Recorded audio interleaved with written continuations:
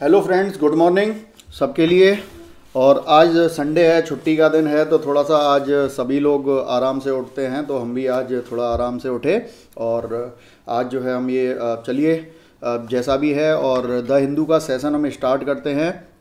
और द हिंदू का session start करने से पहले जो भी लोग हमारे चैनल पर नए हैं, वो फटाफट से दोस्तों हमारे चैनल को सब्सक्राइब कर दीजिए लाइक कीजिए और इस सेशन को जो है अपने दोस्तों के साथ शेयर कीजिए, जिससे इस तरीके के महत्वपूर्ण वीडियो जो हैं आपको लगातार मिलते रहें और बेल आइकन भी दबा दीजिए, ठीक है? और चलिए आगे बढ़ते हैं।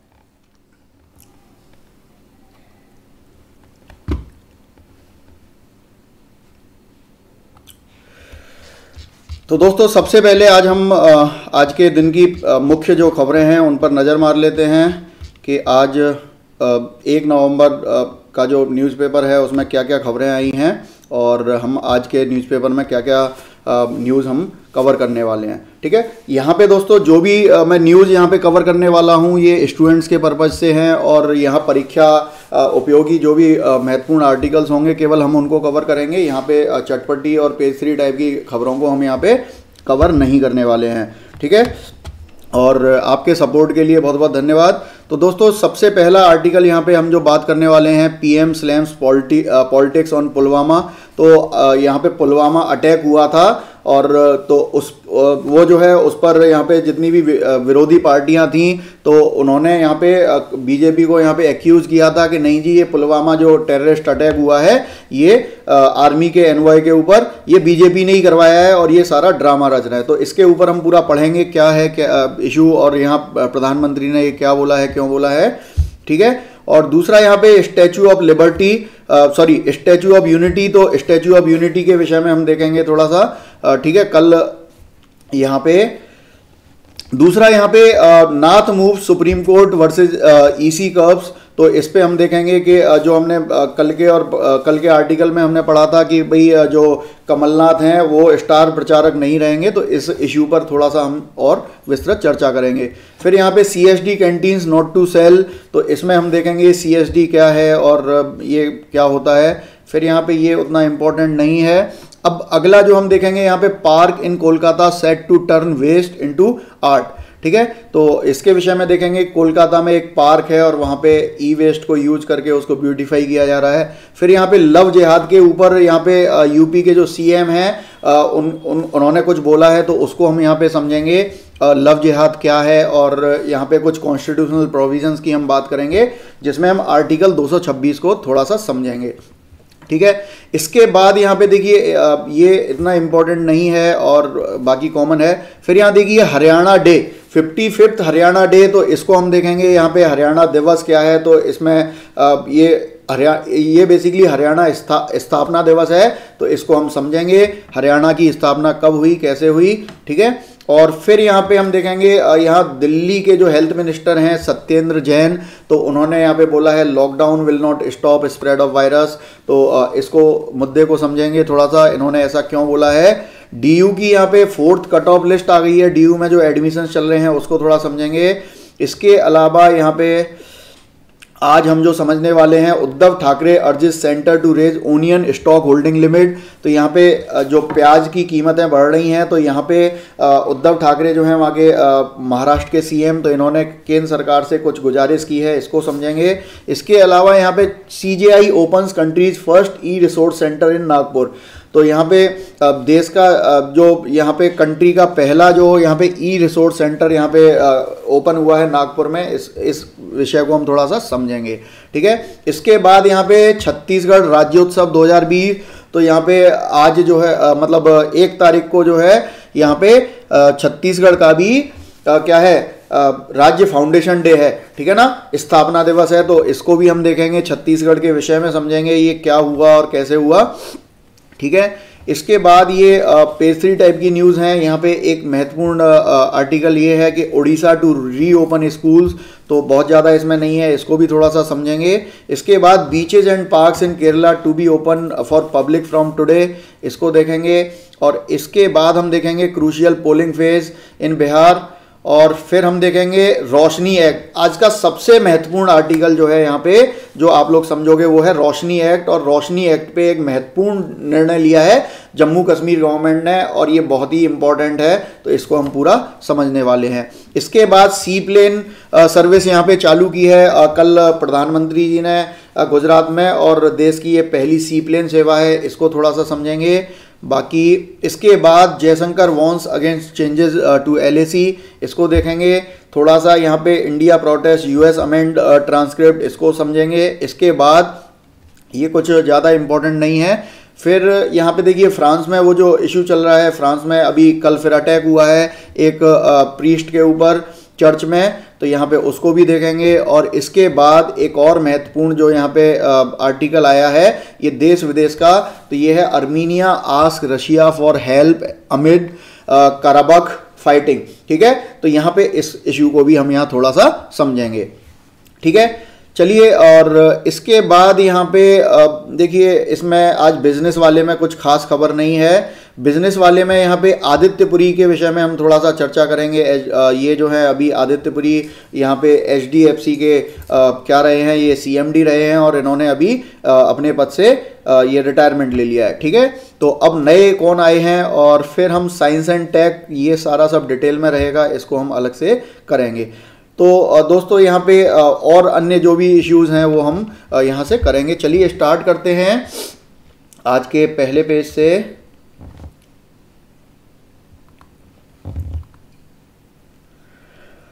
तो सबसे पहला जो आर्टिकल आज का महत्वपूर्ण है, वो है ये प्रधानमंत्री जी PM slams politics on Pulwama तो यहाँ पे पुलवामा अटैक जो हुआ था, इसमें बेसिकली 2019 में जो हमारा आर्मी के जो ट्रक्स थे, वो एक ग्रुप में मूव कर रहे थे और हुआ क्या था यहाँ पे कश्मीर में? उसमें एक अटैक हुआ था टेररिस्ट अटैक हुआ था और जिसमें हमारे करीब 40 सीआरपीएफ के जो जवान हैं वो शहीद हो गए थे। और इस पर क्या हुआ था? जितनी भी अपोजिशन पार्टियाँ हैं एज यूजुअल ये कुछ अच्छा तो कहती नहीं है, गवर्नमेंट को कभी भी सपोर्ट नहीं करती हैं।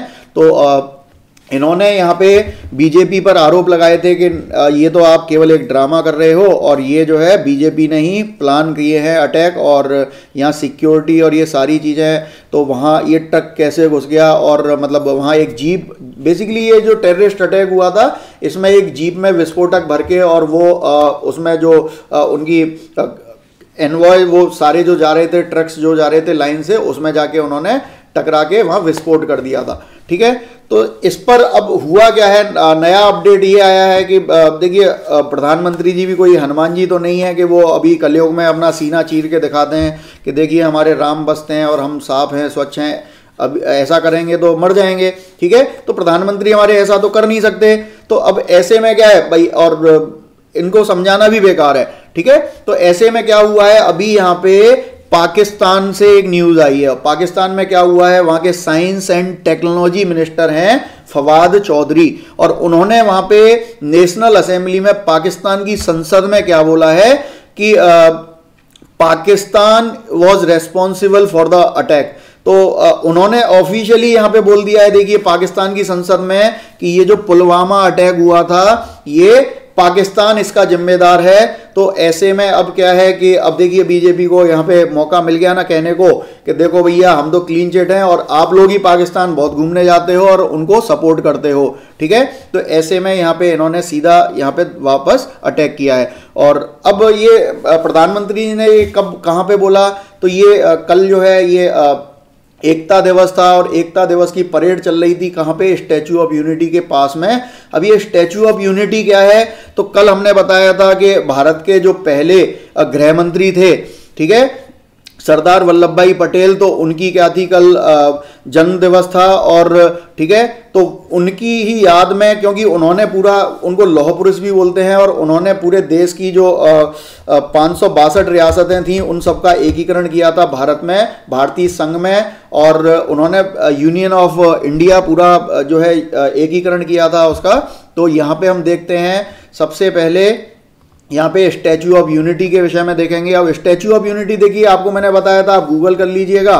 और गूगल करने पे आपको विकीपीडिया पे बहुत अच्छा यहाँ पे आर्टिकल मिल जाएगा स्टैचू ऑफ़ यूनिटी तो ये क्या है? ये विश्व की सबसे ऊँची क्या है? ये स्टैचू है। पहली चीज़ आपको पता होना चाहिए स्टैचू ऑफ़ यूनिटी ये क्या है? विश्व की सबसे ऊँची प्रतिमा है। ठीक है?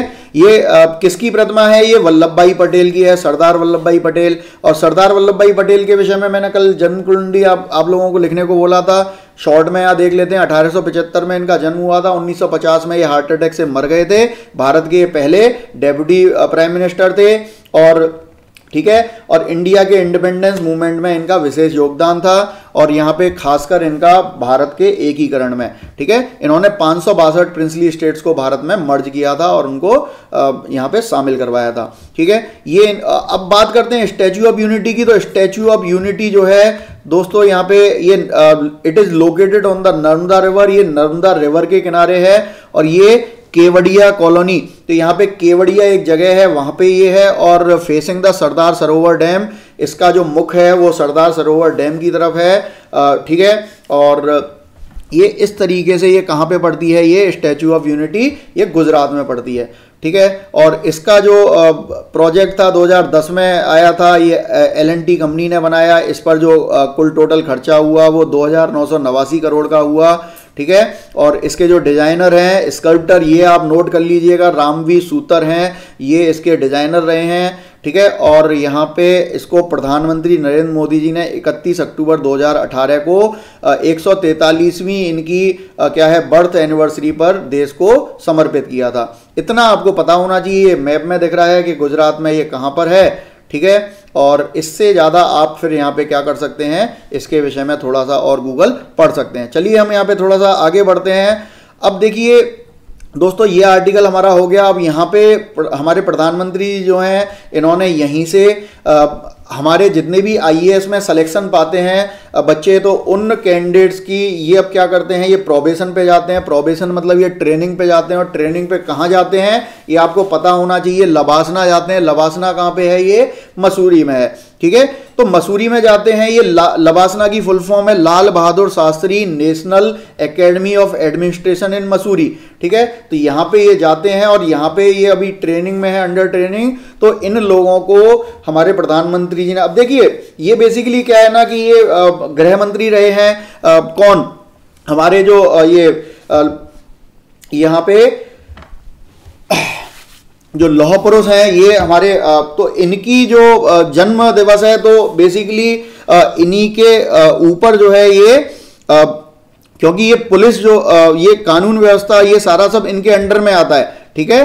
तो इसी वजह से इनके जन्म दिवस पे यहाँ पे इनको बोला गया है कि भैया आप ना यहाँ पे बाबू माइंडसेट जो है उसको छोड़ दीजिए, अगर किसी के में है और यहाँ पे हमें, हमारा जो लक्ष्य है जो एनडीए का, बीजेपी का, वो है minimum governance and maximum minimum government and maximum governance यहाँ पे गवर्नमेंट जो है रूल जो है, वो कम करने हैं और गवर पब्लिक को सर्विस जो है, वो ज़्यादा से ज़्यादा देनी है। तो आपको इस माइंडसेट को अभी से एडॉप्ट कर लेना है। ठीक है? चलिए आगे बढ़ते हैं। अगला यहाँ पे देखेंगे, Nath moves high court and supreme court versus EC curbs कल हमने देखा था कि यहाँ पे जो इलेक्शन कमीशन है उसने बोल दिया था कि भैया ये कमलनाथ जो हैं ये स्टार कैंपेनर नहीं रहेंगे। यहाँ पे मध्य प्रदेश में जो इलेक्शन चल रहे हैं तो इस बात पर अब ये सुप्रीम कोर्ट में चले गए और आपको मैं एक चीज़ बता दूँ यहाँ पे आ, सुप्रीम कोर्ट पहले ही आदेश दे चुका है। ये चीज़ क्लियर है कि भाई जैसे हम सुप्रीम कोर्ट हैं हाई कोर्ट है ऐसे इलेक्शन कमीशन है। इलेक्शन कमीशन को भी यहाँ पे कॉन्स्टिट्यूशन से ही प्रावधान मिले हुए हैं पावर्स मिली हुई हैं। और वहाँ पर क्लियर है कि इलेक्शन रिलेटेड जो भी मुद्दे होंगे उन पर हाई कोर्ट सुप्रीम कोर्ट कहीं भी इंटरफेयर नहीं करेगा इलेक्शन कमीशन के कार्यों में ठीक है? और ना ही हाई कोर्ट सुप्रीम कोर्ट का इलेक्शन के मुद्दों पर कोई जुरिस्डिक्शन बनता है ठीक है? जो कोई भी डिसीज़न होंगे वो इलेक्शन कमीशन के होंगे। तो यहाँ पे अब देखिए मज़े की बात ये है ये अच्छे से जानते हैं। हाई कोर्ट सुप्रीम कोर्ट का कोई जुरिस्डिक्शन नहीं है फिर भी चले गए हैं पब्लिक को। आ, मतलब ऐसे ही ठीक है? पब्लिक को जताने के लिए नहीं जी हम सही हैं। ठीक है? अब बात करेंगे यहाँ पे C H D canteen not to sell direct import अब ये सी एच डी कैंटीन क्या है? तो ये कैंटीन स्टोर्स डिपार्टमेंट होता है और ये आ, सेना में क्या होता है? यहाँ पे से, आ, सेना में जितने भी ये लोग होते हैं जितने भी आ, सरकारी एम्प्लॉय होते हैं इन सब के लिए कुछ सरकार सुविधा देती है। इनको सस्ते में टैक्स फ्री आइटम्स प्रोवाइड कराती है। तो ये सी एस डी कैंटीन्स के थ्रू यहाँ पे होता है। अभी क्या है, यहाँ पे कुछ विदेशी आइटमों को भी यहाँ पे ये बेचा जाता था तो इसको अभी यहाँ पे सरकार ने, हमारी ने कुछ डिसीज़न लिया है और ये आत्मनिर्भर भारत प्रोग्राम के तहत ये डिसीज़न लिया है, ठीक है? तो ज़्यादा इंपॉर्टेंट नहीं है। अब ये देखिए, Rajasthan bills to counter farm laws ये उतना इंपॉर्टेंट नहीं है, ठीक है? अब यहाँ पे देखिए, आपके लिए एक महत्वपूर्ण टॉपिक ये आता है कि ये आपके कहीं पे काम आ सकता है, आपके आंसर राइटिंग में। ठीक है? तो park in Kolkata set to turn waste into art तो यहाँ पे कौन सा पार्क है? अब देखिए कोलकाता वेस्ट बंगाल में पड़ता है और कोलकाता में एक पा, पार्क है। बेसिकली ये पार्क क्या है? यहाँ पे बस अड्डे का एक हिस्सा है और यहाँ पे देखिए इस पार्क को ब्यूटीफाई किया जा रहा है और किससे किया जा रहा है? टायरों से ठीक है? कंट्रीज़ फ़र्स्ट टायर पार्क इसे बनाया जा रहा है और ये किसके द्वारा यहाँ बनाया जा रहा है? Bengal transport corporation, West Bengal transport corporation के द्वारा इसे बनाया जा रहा है। यहाँ पे जितने भी पुराने टायर हैं, उनको यूज़ करके, यहाँ पे उनको ब्यूटीफाई करके यहाँ पे इंस्टॉल किया जा रहा है और इसे बड़ा ही अच्छे तरीके से सुसज्जित किया जा रहा है। ज़्यादा हम इसमें डिटेल में नहीं जाएँगे, आप लोग इसे अलग से पढ़ सकते हैं, गूगल करके।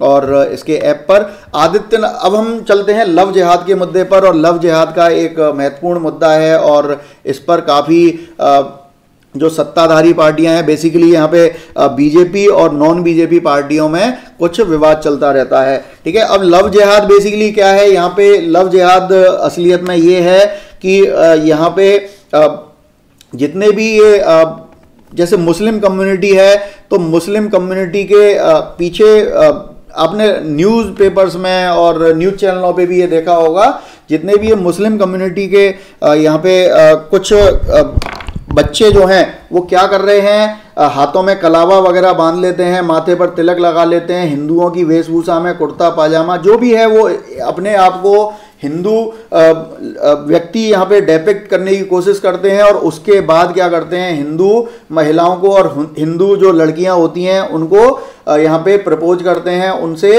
इश्कबाजी करते हैं और वहाँ पे उनको ये जताते हैं, हम हिंदू हैं। ठीक है? और ऐसे में क्या होता है, फिर वो गाड़ी आगे बढ़ती है और गाड़ी आगे बढ़ती है तो उनसे शादी कर लेते हैं और शादी होने के बाद वो अपनी असलियत पे आ जाते हैं, वो अपना धर्म जताते हैं और उन पर फोर्स करने की कोशिश करते हैं कि भैया अब तो आपकी शादी हो गई है और अब आप क्या हो जाइए मुस्लिम हो जाइए। और मीडिया में ऐसा क्लेम किया जाता है कि इस लव इसे क्या बोलते हैं लव जिहाद बोलते हैं। और लव जिहाद में बेसिकली यहाँ पे ऐसा भी आ, मीडिया में आया है कि आ, इसके लिए फंडिंग होती है, बाहर से इनको पैकेज मिलते हैं कि आप कितनी आप हिंदू लड़की के लिए अगर शादी करते हैं तो ये रेट है, मुस्लिम लड़की से शादी करते हैं तो आप सिख लड़की से करते हैं, ये है, जैन से करते हैं, ये है, ठीक है? तो वो सारा सब एक अनऑफिशियल भी हो सकता है, ठीक है? तो आप यहाँ इसे लव जिहाद का मुद्दा आप समझ गए होंगे। तो यहाँ पे अब क्या हुआ है? उत्तर प्रदेश के जो चीफ मिनिस्टर हैं योगी आदित्यनाथ तो इन्होंने यहाँ पे बोला है कि his government would bring an effective law against love जिहाद। और अब देखिए ये हिंदुत्ववादी थोड़ी सी सरकार है तो ये अब यहाँ पे ये लव जिहाद जो चल रहा है, वो किसके खिलाफ चल रहा है? हिंदुओं के लिए, हिंदुओं के खिलाफ चल रहा है, ठीक है ना? तो हिंदू लड़कियों को यहाँ पे फंसाया जाता है। और ये कोर्ट वगैरह में भी मैटर पहुँचे हैं तो ये कोई छोटा मोटा इशू नहीं है। तो यहाँ पे इन्होंने बोला है कि हम इसको सीरियसली लेंगे और इसके लिए एक इफ़ेक्टिव लॉ लॉ लेके आएँगे। यहाँ पे ये, देखिए यहाँ पे क्लियर बोला है, लव जिहाद और slur political use by the Hindu right wing to target interfaith relationship and marriages involving Muslim man. ठीक है? यहाँ क्लियरली बोला गया है कि ये जो लव जिहाद है, ये केवल और केवल ये इसमें मुस्लिम लड़के होते हैं और यहाँ पे नॉन मुस्लिम यहाँ पे लड़कियाँ होती हैं। The chief minister also issued a warning यहाँ पे बोला गया है कि भाई इनको धमकी दी गई है, यहाँ पे वार्निंग दी गई है। Those who played with the honour of sisters and daughters by concealing their identities and operating secretly ठीक है? और ये जो इनका ये uh, चल रहा है ये सही नहीं है और आप लोग सुधर जाइए।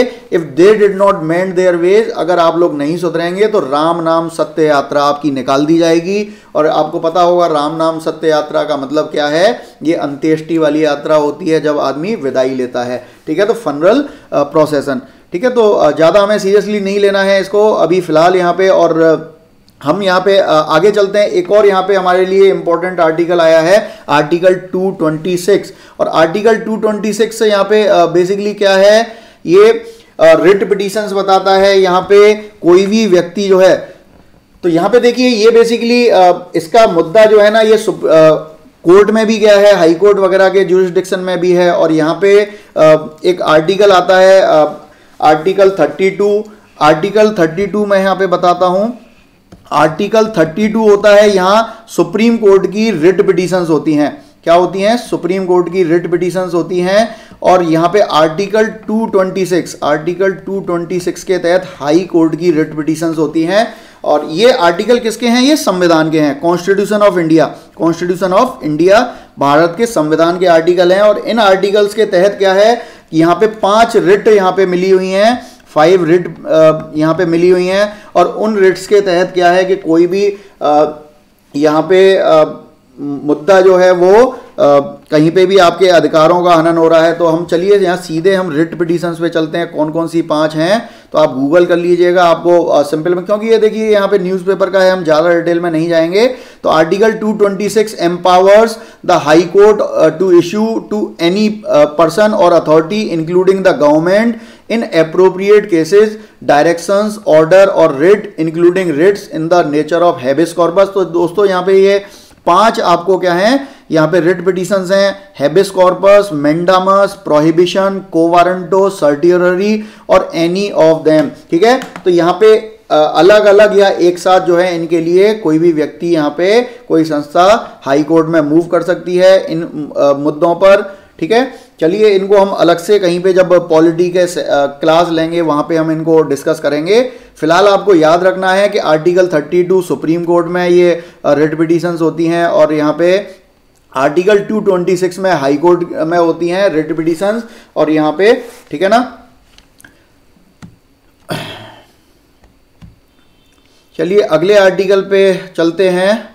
देखिए यहाँ पे कुछ खास नहीं है। एयर क्वालिटी मैंने आपको बोला था, अगले छः महीने तक ये डेली आएगा कुछ ना कुछ। तो हमें ज़्यादा नहीं देखना है। ऑल्टर्ड कोर्ट ऑर्डर्स थोड़ा सा यहाँ पे हम देखते हैं। कि जो भी अभी लॉकडाउन चल रहा है तो इस पर एक थोड़ा सा बढ़िया आर्टिकल यहाँ पे आया है और ज़्यादा महत्वपूर्ण नहीं है हल्का सा हम इसे देखेंगे कि ये जो कोरोना कोविड 19 है कोविड 19 की वजह से जो लॉकडाउन लगा है तो लॉकडाउन की वजह से अब क्या है कि यहाँ पे जो कोर्ट है कोर्टों में जो बेसिकली जुडिशियरी जो है तो यहाँ पे जुडिशियल प्रोसेस जो है, वो थोड़ा सा प्रभावित हुआ है, न्याय, न्यायिक प्रक्रिया प्रभावित हुई है और इसके सपोर्ट में यहाँ पे एक कवरेज हुई है और इस आर्टिकल को यहाँ पे लिखा गया है और इसमें बोला गया है कि लॉकडाउन से पहले कोर्टों में जो है, इसी एक समान ड्यूरेशन में अप्रैल से लेके अब तक यहाँ पे कितने यहाँ पे केस दर्ज हुआ करते थे और कितने कोर्ट जो है निस्तारित कर देती थी, उन पर फैसले देती थी। लेकिन कोरोना के टाइम पे कोविड 19 लॉकडाउन की वजह से या लॉकडाउन खुलने के बाद अभी वहाँ पे कितने केसेस रजिस्टर हो रहे हैं और कितने वहाँ पे ई कोर्ट्स के माध्यम से वर्चुअली कोर्ट्स के माध्यम से वहाँ पे कोर्ट जो है यहाँ पे निस्तारित कर रही हैं। ठीक है तो इसको हम समझेंगे तो यहाँ पे दिख रहा होगा दिल्ली हाई कोर्ट में, यहाँ पे देखिए ये रेड वाले जो हैं ये पहले के केसेस हैं 2019 के, और ये ब्लू वाला जो ग्राफ दिख रहा है ये ये जो है ये वर्तमान के केसेस हैं इस वर्ष के।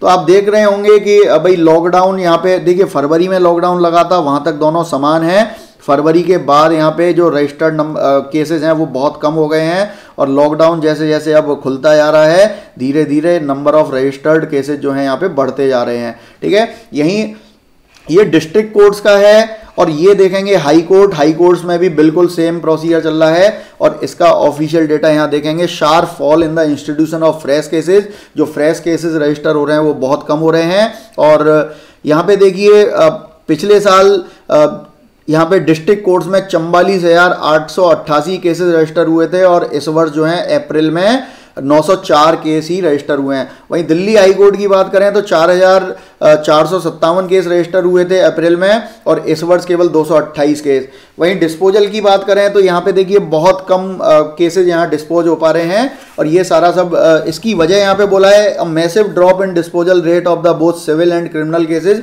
दोनों टाइप के केसेज में और इससे क्या हुआ है? Constitutional commitment to ensuring the delivery and access to justice ये थोड़ा सा क्या है? यहाँ प्रभावित हुआ है। ठीक है? चलिए आगे बढ़ते हैं। अब देखिए यहाँ पे हरियाणा फाउंडेशन डे है आज। एक नवंबर है। एक नवंबर 2020 तो हरियाणा फाउंडेशन डे अब हरियाणा, यहाँ पे देखिए ये संख्या आप आपके लिए इंपॉर्टेंट है। Fifty fifty fifth Haryana foundation day. तो इसका मतलब ये आपका क्या हुआ? हरियाणा जो दिवस है, हरियाणा स्थापना दिवस। हरियाणा स्थापना दिवस।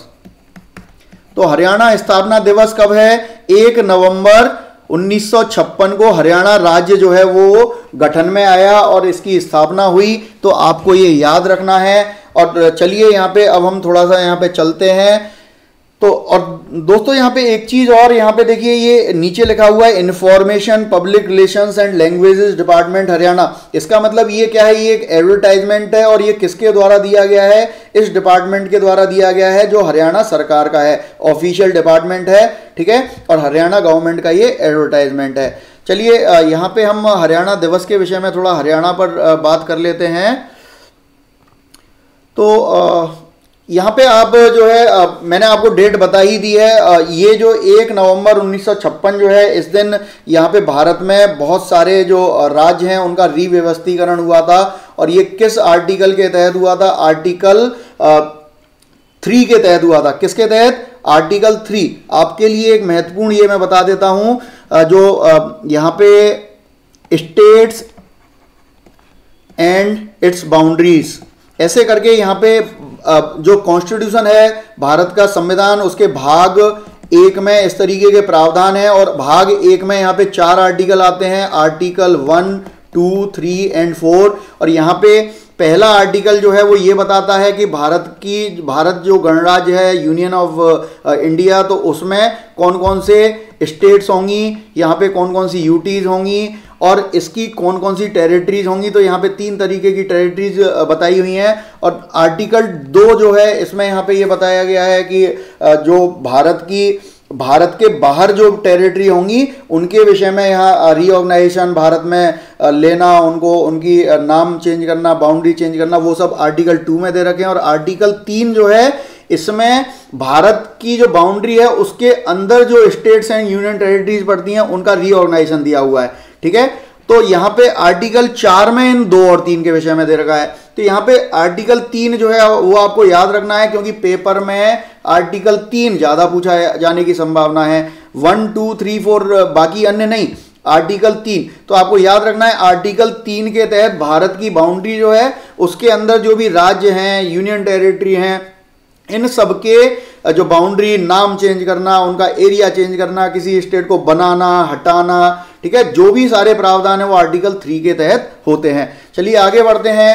यहाँ पे lockdown will not stop spread of virus face mask best vaccine तो ये देख लेते हैं यहाँ पे, जो दिल्ली के यहाँ पे हेल्थ मिनिस्टर हैं सत्येंद्र जैन, ठीक है? तो इन्होंने एक बहुत ही महत्वपूर्ण यहाँ पे स्टेटमेंट दिया है और इसको थोड़ा सीरियसली लेना चाहिए। और बेसिकली इन्होंने ये बोला है कि भाई लॉकडाउन की लॉकडाउन अगर आप लगाएँगे तो इससे विशेष कोई फ़र्क नहीं पड़ने वाला है। और इससे नुकसान ज़्यादा होने हैं, ठीक है? और ये कह रहे हैं कि बेस्ट जो इसके लिए वैक्सीन है, वो ये है, जब तक देखिए वैक्सीन आएगी, वो तो बेस्ट है ही है, लेकिन जब तक वैक्सीन नहीं आ रही है, तब तक फेस मास्क लगाना और प्रिकॉशन रखना ही बेस्ट वैक्सीन है, उसका एक ऑल्टरनेटिव है, ठीक है? तो बस यही बोला है, और ये आपको सब पता है, इस पर ज़्यादा विश्लेषण करने की आवश्यकता नहीं है। ठीक है? फ़िलहाल यहाँ पे आपके लिए एक और छोटा सा स्टूडेंट्स के लिए है ये। जो भी स्टूडेंट्स अंडर ग्रेजुएट कोर्सेज में यहाँ पे एडमिशन लेना चाहते हैं तो यहाँ पे दिल्ली यूनिवर्सिटी काफ़ी पॉपुलर रहती है एडमिशन्स के लिए स्टूडेंट्स के लिए। तो यहाँ पे दिल्ली यूनिवर्सिटी ने अपनी चौथी कट ऑफ़ लिस्ट यहाँ पे जारी कर दी है। और अंडर ये किसके लिए? अंडर ग्रेजुएट कोर्सेज के लिए है। और यहाँ पे इस कट ऑफ़ लिस्ट के तहत जो है यहाँ पे ऑनलाइन एडमिशन्स नवंबर दो से चार के बीच होंगे। तो इसीलिए मैं यहाँ पे ये कवर कर दे रहा हूँ। आपको पता चल जाए लास्ट डेट फॉर पेमेंट जो है, यहाँ पे फ़ीस की नवंबर छः है। और यहाँ पे कॉलेज वॉलेज आप लोगों को पता ही होगा लेडी श्री राम कॉलेज की यहाँ पे कट ऑफ़ जो है वो हंड्रेड परसेंट जाती है। लेकिन इसमें फोर्थ लिस्ट में उन्होंने निन्यानवे परसेंटाइल यहाँ पे कर दी है। ठीक है? फिर आगे चलते हैं, आगे बढ़ते हैं। ये एक एडवर्टाइजमेंट है, ये क्लासीफाइड इसमें कुछ नहीं है। अगला आर्टिकल यहाँ देखते हैं, जो काम का है हमारा, Uddhav Thackeray urged centre to raise onion stock holding limit तो उद्धव ठाकरे ये जो है आपको पता है, महाराष्ट्र के सीएम हैं और ये शिवसेना के जो है प्रमुख हैं, ठीक है? और अब देखिए, इनका क्या है, यहाँ पे बेसिकली मैंने कल आपको प्याज का मुद्दा बताया था। प्याज के जो है रेट बढ़ रहे हैं और प्याज को जो है एसेंशियल कॉमोडिटीज एक्ट के तहत लाया गया और एसेंशियल कॉमोडिटीज एक्ट के तहत प्रावधान जो होते हैं, उनकी आप जो भी सामान है, जो भी वस्तुएँ हैं, उनकी आप क्या है, भंडारण एक लिमिट से ज़्यादा नहीं कर सकते हैं। क्या? एक लिमिट होगी, उस लिमिट से ज़्यादा आप भंडारण नहीं कर सकते हैं। ठीक है? अब उससे ज़्यादा आप करेंगे तो क्या होगा? आपको जेल हो जाएगी, आपका माल जब्त अलग हो जाएगा और पेनल्टी अलग लगेगी, ठीक है? तो अब देखिए, असली वजह, ये हम बात करेंगे कि प्याज जो है वो मेजर कहाँ प्रोड्यूस हो रही है? इधर प्रोड्यूस हो रही है, आपके महाराष्ट्र में प्रोड्यूस हो रही है अच्छी खासी, और, अब ऐसा बोला जाता है कि भाई यहाँ पे प्याज जो है, प्याज पे शरद पवार जी जो है, इनकी पार्टी और इनके जो परिवार के लोगों का यहाँ पे इनके किसानों पर काफ़ी प्रभुत्व है, ठीक है? तो अगर यहाँ पे देखिए, यहाँ पे क्या बोल रहे हैं? यहाँ पे जो उद्धव ठाकरे जी हैं, वो हमारे सेंट्रल गवर्नमेंट से कह रहे हैं कि भाई, आप ना ओनियन स्टॉक होल्डिंग लिमिट जो है, उसे 1500 मीट्रिक टन जो अभी कर रखी है, उससे बढ़ा दो, ठीक है? To increase the onion stock holding limit to 1500 metric tonne for wholesale traders मतलब इतना बढ़ा दो इसे, कम से कम, ठीक है? अब देखिए यहाँ पे होलसेल ट्रेडर्स को 1500 मीट्रिक टन करने की क्या आवश्यकता है यहाँ पे? 1500 मीट्रिक टन और ये क्या कह रहे हैं? इससे क्या होगा यहाँ पे? In the state who purchase the bulb directly from farmers मतलब अब ये जो होलसेल ट्रेडर्स हैं, ये जो किसानों से डायरेक्टली खरीदते हैं, भाई तुम थोड़ा थोड़ा स्टॉक करके बेच दो ना। ज़्यादा होर्डिंग करोगे, क्या होगा? यहाँ पे, देखिए, ये सब सिस्टेमेटिक है। ये बेसिकली अपनी पार्टी पॉलिटिक्स को थोड़ा बचाने के लिए, यहाँ पे गठबंधन सरकार को बचाने के लिए इन पर दबाव डाला जा रहा होगा। और उसके तहत यहाँ पे ये हो रहा है, ठीक है? तो यहाँ पे इन्होंने बोला है कि भैया, इससे क्या है, कैसा, फ़ायदा होगा? अब देखिए, फ़ायदा किसका होगा? इन ट्रेडर्स का होगा ना। और इन ट्रेडर्स के के पास जो पैसा लगा हुआ है, उन लोगों का होगा। लेकिन ये पब्लिक के हितकर नहीं है, ना फार्मर्स के हित का है, और केंद्र सरकार ये अच्छे से जानती है। अब यहाँ पे देखिए, एक और चीज़ आपके लिए क्या है? Union consumer affairs food public distribution minister जो है यहाँ पे, पीयूष गोयल, ये कल भी नाम आया था, ठीक है? तो ये आपको याद रखना है, ज़्यादा इस पर नहीं जाना है। अच्छा हाँ यहाँ पे एक चीज़ और बता दूँ, यहाँ पे एक शब्द आया है अराइवल ऑफ़ खरीफ ओनियन यहाँ पे ये जो प्याज आने वाली है, ये जो कह रहे हैं तो अभी जो यहाँ पे जो कैप लगा हुआ है, ये आपको पता है, यहाँ पे 25 मीट्रिक टन का यहाँ पे लिमिट लगी हुई है। और इसको ये कह रहे हैं 25 मीट्रिक टन से बढ़ा के 1500 मीट्रिक टन यहाँ पे करने की बात कर रहे हैं। अब बात करेंगे खरीफ ओनियन का मतलब क्या है? भारत में जो क्रॉपिंग के सीज़न है, यहाँ पे तीन सीज़न होते हैं, एक रबी की फ़सल होती है, एक खरीफ की फ़सल होती है ठीक है? और एक जायद की फ़सल होती है, ठीक है?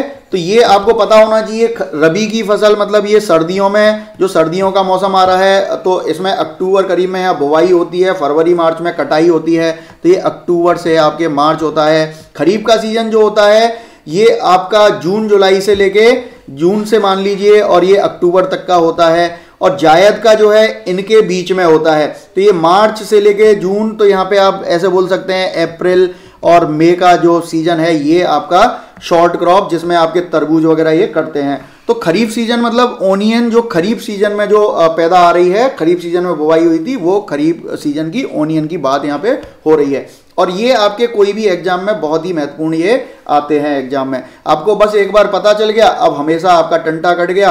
अब कोई भी एग्ज़ाम होगा वहाँ पे इंटरव्यू में पूछ लेंगे आपके प्रीलिम्स में मेंस में जीके जीएस एसएससी बैंक सब में पूछा जाता है ये। रबी कि सीज़न कब होता है किस महीने से किस महीने खरीफ इनमें फ़सल कौन सी होती है तो आप इसे और थो, थोड़ा डिटेल में देख लीजिएगा ठीक है? क्योंकि ये न्यूज़पेपर का है तो यहाँ पे हल्का सा हमने आपको बता दिया। अब बात करेंगे यहाँ पे अन्य कोई आर्टिकल अब देखिए CJI open country's first e resource centre in Nagpur तो यहाँ पे virtual court also launch for transport department to deal with challan cases जो ई रिसोर्स सेंटर खुला है नागपुर में, इसके साथ ही यहाँ पे एक और चीज़ यहाँ पे वर्चुअल कोर्ट जो है ट्रांसपोर्ट डिपार्टमेंट के लिए, ये भी यहाँ पे इनोग्रेट की है। अब यहाँ पे देखिए मैंने आपको कल बताया था, परसों भी बताया था कि यहाँ पे देखिए, आप रेगुलर अगर न्यूज़पेपर पढ़ते रहेंगे तो बहुत सारी चीज़ें आपको डेली पढ़ पढ़ के याद हो जाएँगी। अब देखिए, यहाँ पे चीफ जस्टिस ऑफ़ इंडिया का नाम आ गया, ऐसे बोबड़े अलग से, इसे आप नोट कर लीजिएगा, ठीक है? और यहाँ पे एक और सुप्रीम कोर्ट जज का नाम आया है डी वाई चंदचूड़ अब जैसे आप पढ़ेंगे तो डेली आपको ये नाम याद हो जाएँगे कि यार सुप्रीम कोर्ट के जज हैं डी वाई चंदचूड़ अब माना ऐसे बोबड़े रिटायर होंगे तो कोई ना कोई तो बनेगा, इन्हीं में से कोई बनेगा तो इजीली आपको याद रहेगा कि भैया अब ये बन गए हैं चीफ जस्टिस ठीक है? फ़िलहाल हम बात करते हैं, इन्होंने न्याय कौशल जो है यहाँ पे ये इनोग्रेट किया है country's first e resource centre. तो इसका जो ई रिसोर्स सेंटर जो है, इसका नाम क्या रखा है? न्याय कौशल, ठीक है? और at the judicial officers training institute in Nagpur. तो ये आपको ये भी याद रखना है कि जुडिशियल ऑफिसर्स का यहाँ पे ट्रेनिंग इंस्टीट्यूट भारत में कहाँ पे है? नागपुर में है। तो ये भी आपके लिए एक महत्वपूर्ण यहाँ पे क्वेश्चन बन जाता है। देखिए क्वेश्चन कहाँ से आते हैं? यहीं से आते हैं। आईएएस का पेपर कोई ऐसा थोड़ी है कि कहीं से आ, मतलब अफ्रीका से उठा के ले लिया? ऐसा नहीं है। सब न्यूज़पेपर से आता है बस ये हम बारीकी से पढ़ते नहीं है उसको आ, मतलब हल्के में ले लेते हैं। बस समस्या यहाँ आती है। Virtual court was also launch for the transport department to deal with the challan cases अब ये जो है ना ट्रांसपोर्ट डिपार्टमेंट के लिए वर्चुअल कोर्ट जो चालू की गई है इसका केवल और केवल पर्पज है यहाँ पे जितने भी चालान केसेज हैं वो यहाँ पे स्पीडीली यहाँ पे क्या है निस्तारण हो जाए उनका। ठीक है? अब यहाँ पे बोला है कि जो जो कोविड है, कोरोना है तो उसकी वजह से यहाँ पे हमने पीछे भी देखा, जो न्यायिक प्रक्रिया है, प्रभावित हुई है तो access to justice becoming conditional on access of technology अब यहाँ पे ये बोल रहे हैं जस्टिस बोबड़े ये एक्सेप्ट कर रहे हैं इस बात को कि भाई, ये जो आपका यहाँ पे जो जुडिशियल प्रोसेस है और जो पब्लिक को जो जस्टिस दिया जा रहा है, वो यहाँ पे जस्टिस न्यायिक प्रक्रिया जो है वो प्रभावित हुई है। और उसकी वजह क्या है कि देखिए, ठीक है, इन्होंने कोर्टों ने ई कोर्ट बना दी यहाँ पे और यहाँ टेक्नोलॉजी के माध्यम से कोर्ट लग रही हैं, लेकिन इसका लेकिन वो सारी जो टेक्नोलॉजी है, अब देखिए, हर कोई, हर किसी के पास में एक बढ़िया कोई कैमरा या फिर बढ़िया कोई माइक्रोफोन, आप माना जूम पे या कहीं पे भी करते हैं तो जितना आसान हमें बताया जाता है कम्युनिकेशन उतना आसान नहीं है। हम हम जो है अपने मोबाइल पे माना जूम ऐप डाल लिया, उससे उतना आसान नहीं है। कई बार कुछ सॉफ्टवेयर जो हैं, वो यहाँ पे सपोर्ट नहीं करते हैं, आपके माइक को सपोर्ट नहीं करेगा कैमरे को सपोर्ट नहीं करेगा। अब सामने वाले की बात नहीं आ पाएगी, आपकी बात नहीं पहुँच पाएगी। और इसके लिए इंटरनेट चाहिए। इंटरनेट, अब देखिए मेरे पास अभी यहाँ पे मेरे एरिया में यहाँ जियो की सर्विस अभी अभी आई है। और अभी अभी आई है तो मैंने अभी तीन दिन से ये लाइव क्लासेस चालू की हैं। वजह क्या है? मेरे पास ये सारे सब सेटअप था पहले से, लेकिन इंटरनेट नहीं था। अब जब मेरे पास इंटरनेट नहीं है, सोचिए कोई ग्रामीण क्षेत्र में कोई एक आम नागरिक है, मेरा तो एक काम धंधा है कि भैया मैं पढ़ाता हूँ, मेरे पास सारी चीज़ें हैं। लेकिन जो एक आम आदमी है, उसके पास लैपटॉप माइक प्रोफेशनल ये सारी चीज़ें नहीं होती हैं। कौन सा सॉफ्टवेयर है, वो बेचारा जानता ही नहीं है, ठीक है? और तो ये सारी समस्याएँ हैं। और इसकी वजह क्या है? एक्सेस टू टेक्नोलॉजी और टेक्नोलॉजी में हर कोई, पहले तो टेक्नोलॉजी हो, उस पर खर्चा हो और उसको सीखना तो ये इन्होंने एक्सेप्ट किया है। ठीक है? फिर हम बात करेंगे e resource centre is mean to be a setup at mitigating various inequalities by being connected to the supreme court और ये ई रिसोर्स सेंटर जो है, ये पूरे भारत के लिए होगा। यहाँ पे सुप्रीम कोर्ट हाई कोर्ट और जितनी तालुका कोर्ट होंगी, सब इससे कनेक्टेड होंगी। और यहाँ से क्या होगा? Easiest way of filing court matters by using technology जिन लोगों के पास टेक्नोलॉजी है या जो भी वकील हैं या जो कोई भी इस फ़ील्ड में काम करते हैं, वो लोग टेक्नोलॉजी का प्रयोग करके ई फाइलिंग के माध्यम से, इस रिसोर्स सेंटर के माध्यम से यहाँ पे अपने केसेस को फ़ाइल कर सकते हैं और न्यायिक प्रक्रिया थोड़ी सी सुदृढ़ होगी।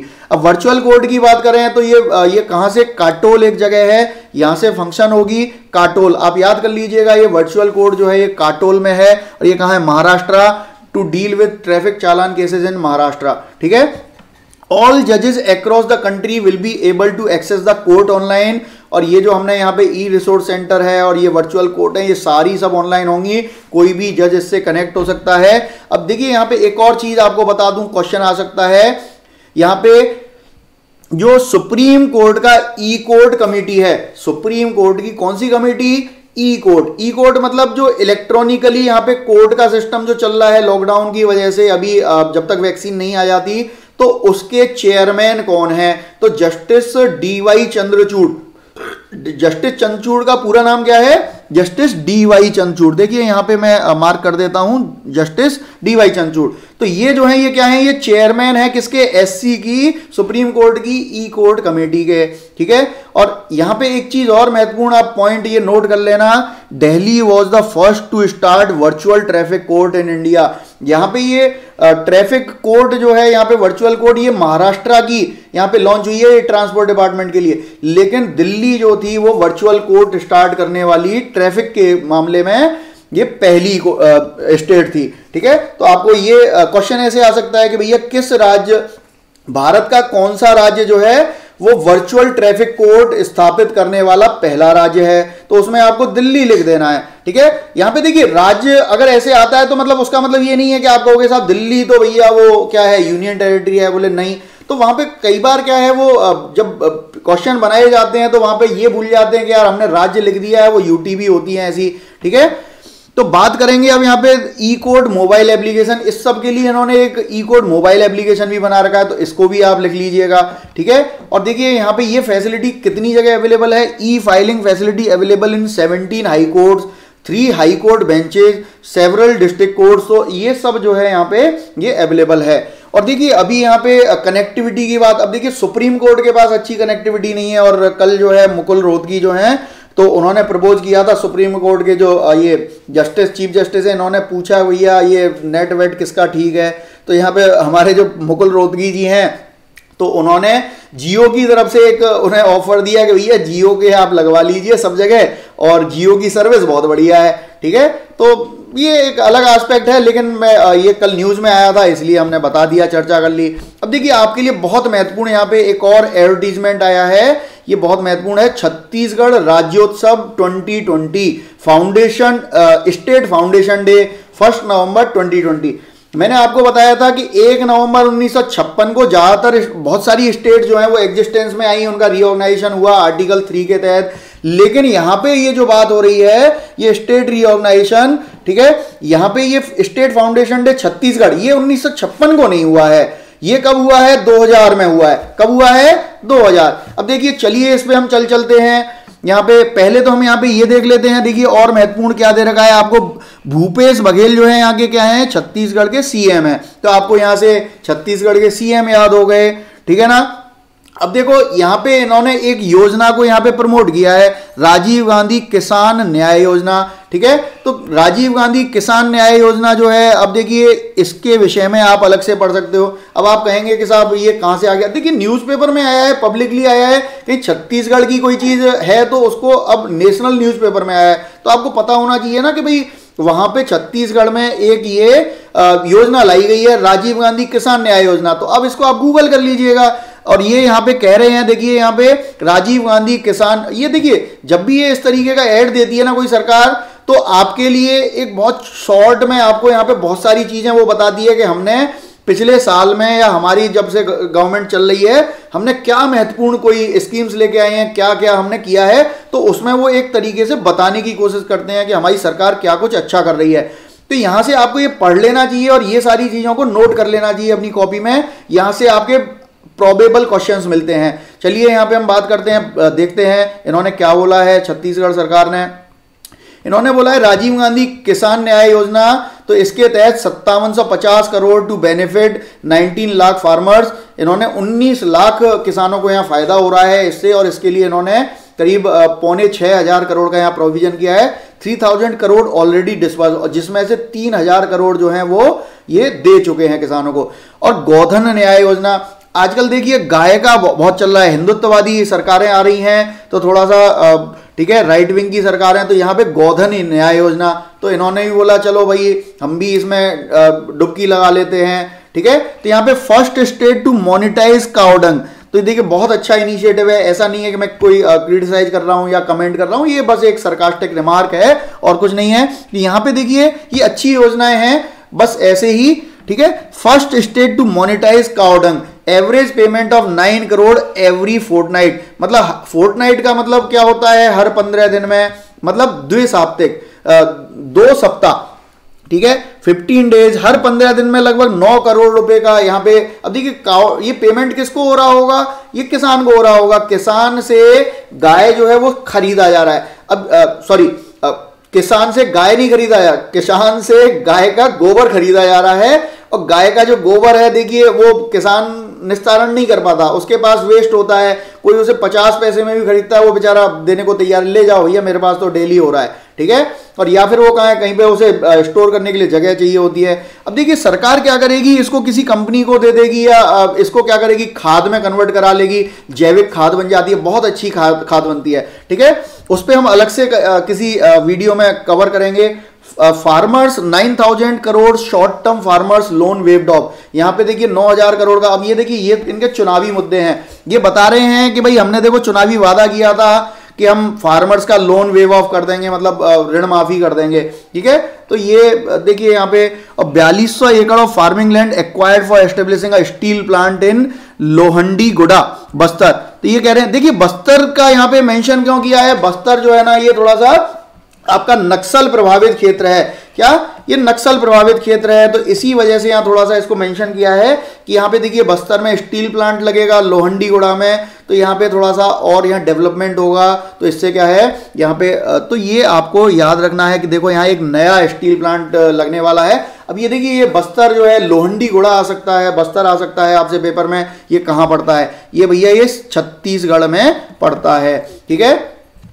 अब देखिए leading state in recognise forest rights तो यहाँ कह रहे हैं individual and community forest rights on 51 lakh acres of forest land अब देखिए ये क्या होते हैं? ये फॉरेस्ट राइट ये individual and forest community forest rights ये बेसिकली क्या होता है कि uh, जो भी ये uh, देखिए जो फॉरेस्ट होते हैं यहाँ पे हमको क्या करना होता है? अब देखिए, हमारी जो बायोडाइवर्सिटी है, उसको प्रिजर्व करना है और उसको प्रिजर्व करने के लिए हमारे एनवायरमेंटल लॉज हैं बहुत सारे और ये लॉज जो हैं, इनके तहत जितने भी वनों में और जंगलों में जितने भी वन्य जीव जंतु हैं, उनके प्रोटेक्शन के लिए बहुत सारे अलग अलग और अलग से एक्ट आए हुए हैं।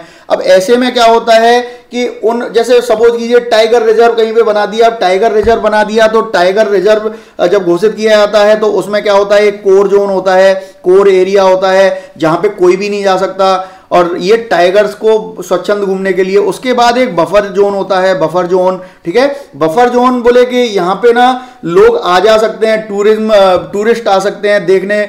जैसे सपोज़ करो यहाँ पे घना पक्षी विहार है तो वहाँ लोग आप घूमने चले जाओगे भैया टूरिस्ट आते हैं ना देखने तो वो यहाँ आ सकते हैं, ठीक है, टूरिस्ट। अब बात करते हैं, इसके बाद भी थोड़ा सा एक जोन होता है। अब होता क्या है, यहाँ पे जब ये घोषित किए, ठीक है तो यहाँ पे जो आसपास ये लोग जो रहते हैं तो इन लोगों के यहाँ पे फॉरेस्ट राइट्स होते हैं, और फॉरेस्ट राइट्स जो होते हैं, इसके तहत ये जो भी यहाँ पे ऐसे एरियाज़ में लोग रहते हैं ठीक है? तो इन लोगों को यहाँ पे इन्होंने बोला है 51 lakh acres of forest land जो हैं इनको इसके तहत यहाँ पे इसको कवर किया गया है। Highest procurement of minor forest produce highest remuneration for tendu patta देखिए यहाँ पे मैंने अभी तेंदू पत्ता नाम लिया था और यहाँ आ गया तेंदू पत्ता। Collection procurement of 31 minor forest produce under यहाँ पे एमएसपी ठीक है?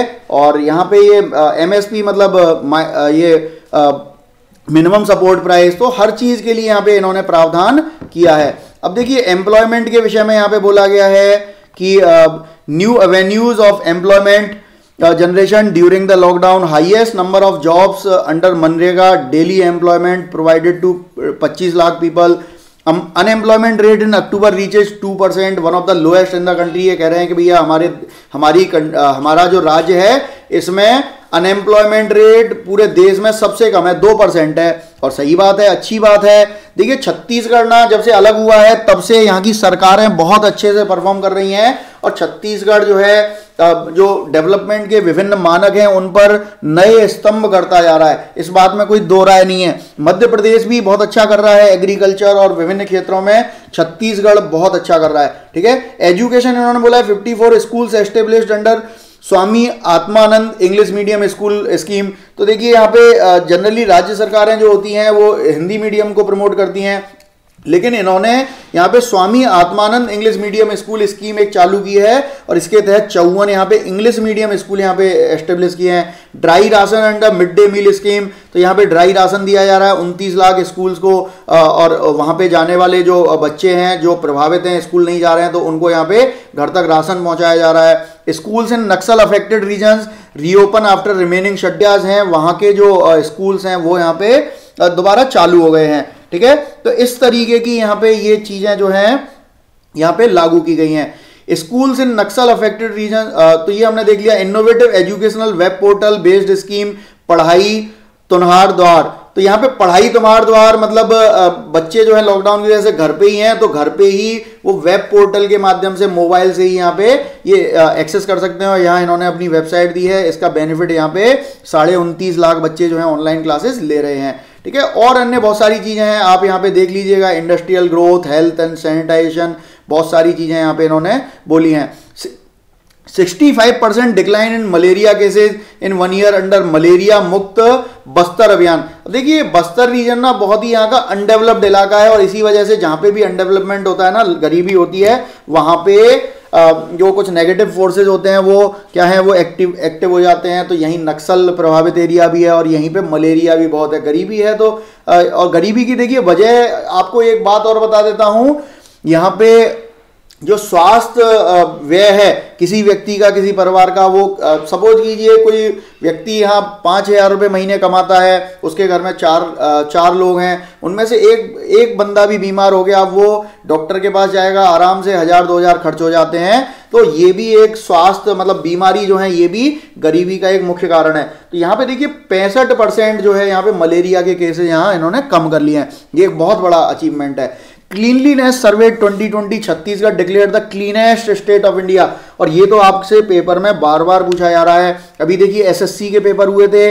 डेली लगभग ये पूछा गया था। ठीक है? क्लीनेस्ट स्टेट ऑफ़ इंडिया कौन सी रही है? इस बार भारत का स्वच्छता सर्वेक्षण हुआ है उसमें। ठीक है? Chhattisgarh. Honoured with 14 more awards in various categories related to cleanliness hygiene and sanitation तो ये सारा जो है यहाँ पे बहुत सारे इनको अवार्ड मिले हैं। अंडर मुख्यमंत्री सुपोषण अभियान तो ये देखिए आप नोट कर सकते हैं, Mukhyamantri Suposhan Abhiyan 13.79 percent decline in the rate of malnutrition तो देखिए ये भी बहुत अच्छा इनका अचीवमेंट है कि इन्होंने माल न्यूट्रिशन जो है मतलब कुपोषण तो कुपोषण को यहाँ पे इन्होंने कम किया है। कुपोषण, ठीक है? और यहाँ पे 67,000 children became malnutrition free बहुत अच्छा अचीवमेंट है इनका। वीकली हार्ट बाज़ार क्लिनिक्स तो देखिए हाट बाज़ार क्लिनिक्स यहाँ पे mobile clinics organise for providing health facilities to people in remote areas और देखिए कितने अच्छे अच्छे इनिशिएटिव ये यहाँ पे लेके आए हैं। और देखिए ये आपको अलग से कहीं नहीं मिलने वाले यहाँ पे एड आया है तो आपको मिल रहे हैं। Chhattisgarh leads in the industrial development 848 new industries and investment worth 15,000 crore तो ये कह रहे हैं कि पंद्रह हज़ार करोड़ का रिसेंटली इन्वेस्टमेंट आया है। न्यू इंडस्ट्रियल पॉलिसी तो यहाँ पे इंडस्ट्रियल पॉलिसी आई है नई। Developing industries based on minor forest produce for employment generation अब देखिए यहाँ पे ये थोड़ा ट्राइबल इलाका बहुत है यहाँ पे। तो जो फॉरेस्ट प्रोड्यूस है वो यहाँ के लोगों की बहुत ही महत्वपूर्ण क्या है? ये आजीविका का साधन है तो इसको यहाँ पे इंडस्ट्री में कन्वर्ट किया जा रहा है। उसको इंडस्ट्री में कन्वर्ट किया जा रहा है, ठीक है? अब देखिए, यहाँ पे आगे बढ़ते हैं तो ये बहुत महत्वपूर्ण नहीं है ये आर्टिकल्स आगे बढ़ेंगे। उड़ीसा टू रीओपन स्कूल्स ये छोटा सा है। Orissa to reopen schools after November 15 तो इन्होंने बोला है कि भाई जो यहाँ के सीएम हैं, अब देखिए, मैंने बोला था ना यहाँ पे, नवीन पटनायक जो है, यहाँ के सीएम हैं उड़ीसा के, ठीक है? ये कौन है? ये सीएम छत्तीस यहाँ के उड़ीसा के। तो इन्होंने ये बोला है कि भाई यहाँ पे जो ऑनलाइन क्लासेस यहाँ चल रही हैं, ठीक है, ये सभी सरकारें चला रही हैं। इन्होंने बोला है कि ये उतना सक्सेसफुल नहीं हो पा रही हैं हमारे राज्य में, और उसकी वजह क्या है? गरीबी। और गरीबी की वजह से क्या है? लोग जो है तो इन्होंने ये चीज़ बोली है कि भाई हम जो है स्कूलों को पंद्रह नवंबर के बाद यहाँ पे खोलने की कोशिश करेंगे। ठीक है? फिर यहाँ पे अगला article beaches and parks and Kerala to be open for public from Tuesday अब देखिए केरला में ये डिसीज़न क्यों आया है? जबकि कोरोना का टाइम चल रहा है। देखिए केरला जो है केरला की जो बड़ी आमदनी है, वो यहाँ टूरिज़्म से होती है। किससे होती है? टूरिज़्म से। और टूरिज़्म जब यहाँ पे लॉकडाउन या इनकी वजह से, कोरोना की वजह से नहीं यहाँ पे टूरिस्ट नहीं आएँगे तो क्या होगा? जब टूरिस्ट नहीं आएँगे तो क्या होगा? तो इससे क्या होगा? यहाँ पे वो खर्चा नहीं करेंगे, खर्चा नहीं करेंगे तो टैक्स नहीं आएगा टैक्स नहीं आएगा तो सरकार को रेवेन्यू नहीं आएगा, ठीक है? और सरकार की आमदनी नहीं होगी तो वो खर्चा कैसे करेगी, ठीक है? तो ऐसे में यहाँ पे मजबूरी हो गई है और इन्होंने यहाँ पे डिसीज़न लिया है कि भैया आज से हम जो है यहाँ पे बीच और पार्क जो है इनको खोल देंगे। केरला में बहुत अच्छे अच्छे बीच हैं और बहुत ही आपको विदेश जाने की ज़रूरत नहीं है। आप यहाँ पे केरला में भारतीय बीचों का आनंद ले सकते हैं। बहुत अच्छा एनवायरनमेंट है। बहुत सारे यहाँ पे ठीक है? यहाँ रिक्रिएशनल यहाँ पे सेंटर्स हैं और यहाँ पे योगा के मसाज के बॉडी मसाज बहुत कुछ यहाँ पे आप स्वास्थ्य लाभ ले सकते हैं, ठीक है? और अच्छी खासी इंडस्ट्री है इधर। ठीक? फिर हम आगे बढ़ेंगे तो यहाँ पे कुछ खास नहीं है। फिर crucial polling phase in Bihar. तो बिहार में नवंबर तीन को जो है यहाँ पे अगला जो, अगले फ़ेज़ का इलेक्शन होना है। हमें ज़्यादा डिटेल में नहीं पढ़ना है इसे, ठीक है? बस डेट से याद रखनी है कि भाई यहाँ इस दिन हो रहा है और ऐसे ऐसे, और ये ये पार्टियाँ एक बार पढ़ लेंगे। काम खत्म, बार बार पढ़ने की ज़रूरत ही नहीं है। अब देखिए, आज का सबसे महत्वपूर्ण जो आर्टिकल है, वो हम आज डिस्कस करने वाले हैं अभी J and K government voids Roshni act. अब ये रोशनी एक्ट जो है, ये क्या है? इस चीज़ को हम समझेंगे, ठीक है? तो ये रोशनी एक्ट जो है बेसिकली पहले इसे समझ लीजिए। रोशनी एक्ट क्या है? तो रोशनी एक्ट बेसिकली क्या है? इसका ये शॉर्ट नेम है रोशनी एक्ट, लेकिन इसका ऑफिशियल नेम क्या है? जो इसका, जो एक्ट आया था, इसका ऑफिशियल नेम है Jammu and Kashmir state land vesting of ownership to the occupants act 2001 इसको हम रोशनी एक्ट के नाम से जानते हैं। तो पहले से समझ लेते हैं। नाम से पता चल रहा होगा, ये जम्मू कश्मीर का है, राज्य का है, और यहाँ पे स्टेट लैंड मतलब राज्य सरकार की जो जमीनें हैं, उससे रिलेटेड है। अब ब्रैकेट में लिखा है vesting of ownership to the occupant इसका मतलब क्या है? कि जो भी जिन लोगों का यहाँ कब्जा है, उन लोगों को ओनरशिप दी जा रही है। तो इस चीज़ का ये क्या है? ये एक्ट है। ठीक है? ये एक्ट 2001 में लाया गया था। अब इसको हम विस्तृत समझते हैं। तो नाम से पता चल गया होगा ये आ, हम किस विषय में बात करने जा रहे हैं। एक्चुअल में क्या होता है कि यहाँ पे रोशनी एक्ट जो है ये फारूक अब्दुल्ला जब यहाँ पे सीएम थे तो उनके टाइम पे ये इस तरीके का ये एक्ट लाया गया।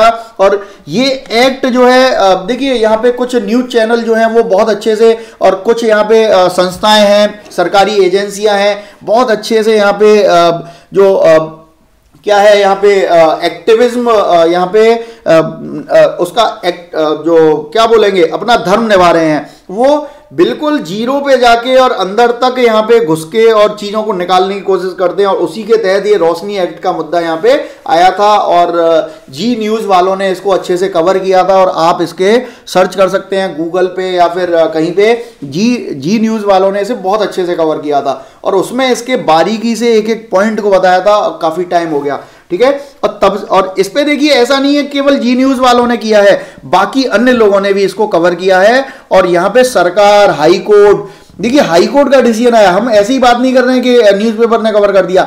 ये संवैधानिक मुद्दा बन गया है, ठीक है? तो यहाँ पे इस पे क्या है? बेसिकली रोशनी एक्ट के तहत यहाँ पे क्या किया गया? सिस्टमेटिक तरीके से जो क्लेम किया जा रहा है, न्यूज़ चैनलों द्वारा, वो ये किया जा रहा है, सरकार ने एक प्रपोजल यहाँ पे प्रोड्यूस किया कि भाई ये हमारी सरकारी जो ज़मीनें हैं, खाली ज़मीनें पड़ी हैं, जैसे कोई हाईवे है हाईवे के बगल से ज़मीन है, कोई जैसे नाला है, नहर है, उसके बगल से ज़मीन है, कहीं पे भी कोई ज़मीन है, शहरों के बाहर ज़मीनें हैं तो उन पर हमारा कोई अर्निंग नहीं आ रही है। बोले कि कुछ लोग जो गरीब लोग होते हैं, वो कब्जा कर लेते हैं। अब हम क्या करेंगे? उन लोगों से उन लोगों को बेच देंगे। बोले, भैया, ठीक है, तुम रहो सिस्टमेटिक हम उन्हें पट्टा दे देंगे। और उसके लिए एक एक्ट बनाया और बोले कि इससे क्या होगा, हमें क्या मिलने वाला है? बोले, सरकार को पच्चीस हज़ार करोड़ की आमदनी होने वाली है। और किससे होने वाली है? हम यहाँ कम से कम उन्होंने बोला कि 25 लाख कैनाल कैनाल वहाँ की unit of measurement of land है, ठीक है? तो 20 लाख कैनाल भूमि हम हस्तांतरित करेंगे कब्जे वाले लोगों को, ठीक है? और इससे हमें पच्चीस हज़ार करोड़ का मुनाफा होगा। ठीक है? लेकिन एक्चुअल में क्या हुआ? अब इन्होंने हस्तांतरण तो कर दिया और अच्छी खासी भूमि का और बहुत अच्छी अच्छी भूमियों का इन्होंने हस्तांतरण कर दिया कब्जे वालों को। जहाँ कब्जे नहीं थे ना वह कब्जे करवा के वहाँ पे हस्तांतरण करवाया गया। बोले भैया तुम तुमको लेना है कब्जा तो दिखाओ अपना ठीक है? और कब्जा ले लो हमसे हम दे रहे हैं ना तुम ले लो। तो कहने का अब ये सिस्टेमेटिक वहाँ पे क्या है? आ, कुछ यहाँ पे जो पॉपुलेशन है डेमोग्राफी ये बेसिकली यहाँ पे शो किया गया था, इससे क्या होगी? अर्निंग लेकिन एक्चुअल में क्या था? यहाँ पे डेमोग्राफी को चेंज करने की कोशिश की गई थी, वो भी सिस्टेमेटिक तरीके से। ठीक है? सिस्टेमेटिक तरीके से अब डेमोग्राफी चेंज कैसे की गई थी? तो देखिए, यहाँ पे जैसे माना कोई हिंदू डोमिनेटेड एरिया है, हिंदू डोमिनेटेड एरिया जैसे माना जम्मू है, जम्मू में वहाँ पे हिंदू डोमिनेटेड एरिया है तो वहाँ पे देखिए वोट की पॉलिटिक्स है। अब इनके कैंडिडेट कैसे जीत के आएँगे? ठीक है तो वहाँ पे सपोज़ कीजिए जो माइनॉरिटी है वो माइनॉरिटी क्लास वहाँ पे इन, इनकी वो, वोटर है ठीक है? तो ऐसे में क्या होगा वो लोग यहाँ पे उनको कब्जा मिल जाएगा वो लीगली वहाँ रहने लगेंगे उनकी कॉलोनी डेवलप हो जाएँगी मस्जिदें आ जाएँगी वहाँ उनके मदरसे आ जाएँगे कोई कोई इसमें दिक्कत नहीं है ठीक है? अब जब रहेंगे तो फिर उनके जो परिवार वाले हैं रिश्तेदार हैं वो आएँगे धीरे धीरे क्या है वहाँ पॉपुलेशन जो है एक बैलेंस में आ जाएगी। ठीक है? और उससे क्या है डेमोग्राफी जो है, वहाँ के डेटा जो है, वो चेंज होंगे, उससे इलेक्शंस प्रभावित होंगे, बहुत कुछ था इसमें, ठीक है? और ये मेरे अपने व्यू नहीं है, जो यहाँ पे मीडिया में है ऑफिशियली यहाँ आ रहा है, वो मैं बता रहा हूँ, ठीक है? और आप देख सकते हैं सर्च कर सकते हैं।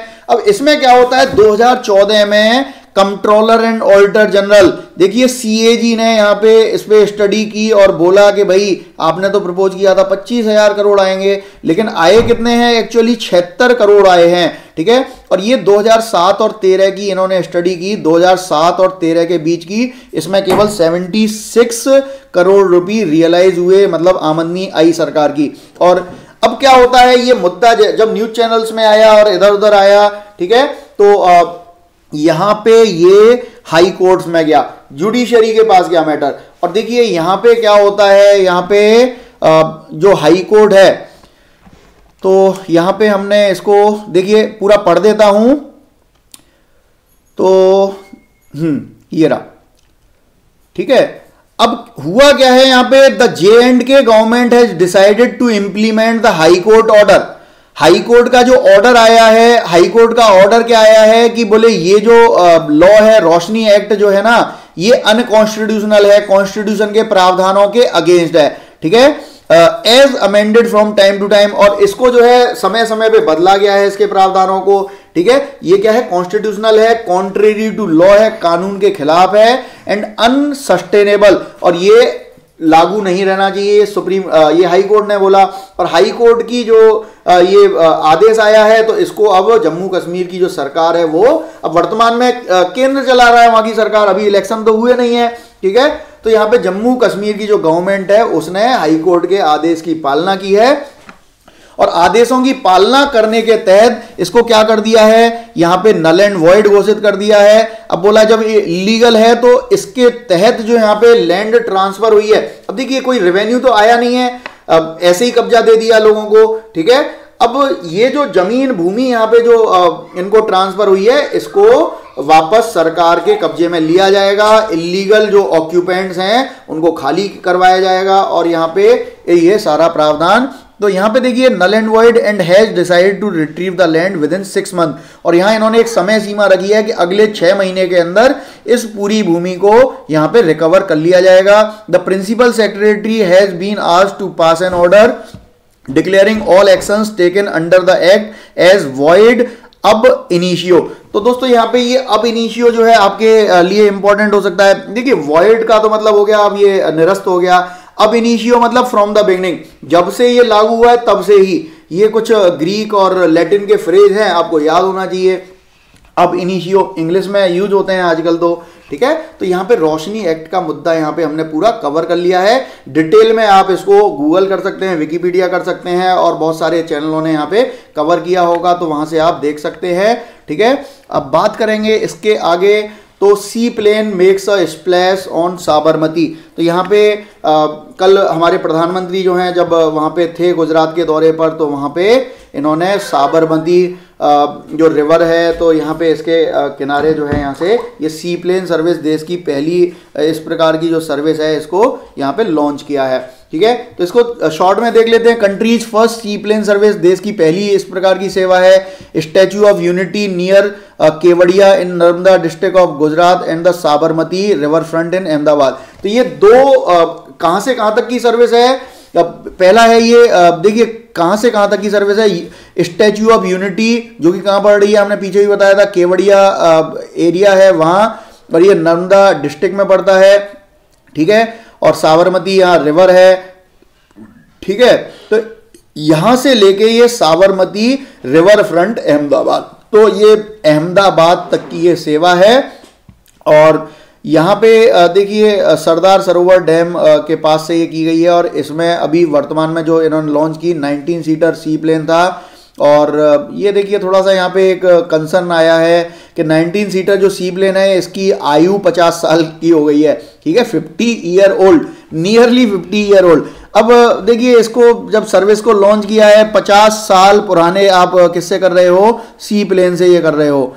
ठीक है? तो ये थोड़ा सा एक सिक्योरिटी इशू है। माना ये क्रैश हो गया, खराब हो गया इंजन खराब हो गया तो क्या होगा भाई इसमें जो बैठे हुए लोग हैं? जान पे बनाएगी। तो यहाँ पे अब ये मामला जो है यहाँ directorate general of civil aviation के पास आ गया है। अब इसमें जाँच पड़ताल हो रही है इनसे पूछा जा रहा है भैया आपने ये परमिशन कैसे दे दी? ठीक है? तो ये अपना यहाँ पे ये आप देख लीजिएगा इसको। ज़्यादा डिटेल में हम नहीं जा रहे हैं। ठीक है?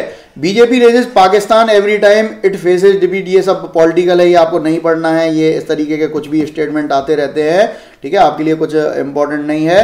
फिर हम बात करेंगे जयशंकर वांस अगेंस्ट चेंजेस टू एलओसी कल हमने देखा था कि यहाँ पे जो कुछ हमारे पड़ोसी देश हैं, वो क्या कर रहे हैं? हमारे सीमा जो समझौते हैं, उनकी क्या कर रहे हैं, इज़्ज़त नहीं कर रहे हैं, ऐसे में यहाँ पे हमारे जो विदेश मंत्री हैं external affairs minister S Jaishankar तो इन्होंने उनको, हमारे पड़ोसी देशों को वार्न किया है कि भैया आप ना, और खासकर ये एलएसी का मतलब है, यहाँ पे एलएसी मतलब चाइना कल हमने बताया था एल बॉर्डर किसका है? इंडिया एंड चाइना का बॉर्डर है लाइन ऑफ़ एक्चुअल कंट्रोल ठीक है?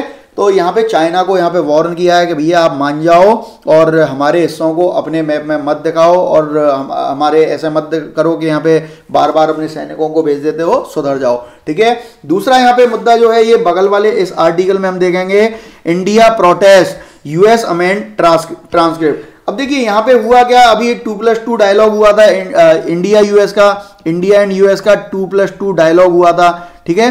और इसमें यहाँ पे जो यूएस के सेक्रेटरी ऑफ़ स्टेट हैं सेक्रेटरी ऑफ़ डिफेंस हैं, ये भारत आए थे और भारत के जो यहाँ पे कौन है? डिफेंस मिनिस्टर और होम मिनिस्टर इनके साथ में ये विस्तृत चर्चा हुई, बैठक हुई। अब इसके बाद में क्या हुआ? यहाँ देखिए टू प्लस टू मीटिंग होने के बाद में यहाँ पे उन्होंने ऑफिशियल जो वहाँ पे जो स्टेटमेंट दिया वहाँ जाके। तो उसमें इन्होंने क्या बोल दिया कि भाई हमारे यहाँ पे जो जो राजनाथ सिंह जी हैं इन्होंने ये बोल दिया है भाई भारत सरकार कह रही है कि reckless aggression on our north east border reckless का मतलब यहाँ पे रेकलेस वर्ड पे यहाँ पे थोड़ा सा क्या है? यहाँ पे आ, आ, हमारे भारत ने यहाँ पे प्रोटेस्ट दर्ज कराया है बोला है कि भाई आप रेकलेस एग्रेशन हमने तो ऐसा नहीं बोला है। और रेकलेस क्यों नहीं बोला है? अब देखिए रेकलेस एग्रेशन का मतलब है कि ताबड़तोड़ वहाँ पे भारतीय भूभाग पे ये कब्जा कर रहा है। अब अगर ऑफिशियली यूएस ऐसा बोलेगा तो इसका मतलब क्या इंटरनेशनल लिया जाएगा, भैया, भारत बहुत कमज़ोर है।